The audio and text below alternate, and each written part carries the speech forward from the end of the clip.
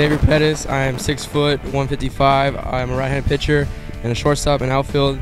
I'm from Corpus Christi, Texas. I'm going to Veterans Memorial. Travel team is the Bandito Scout Team, and I'm 2022.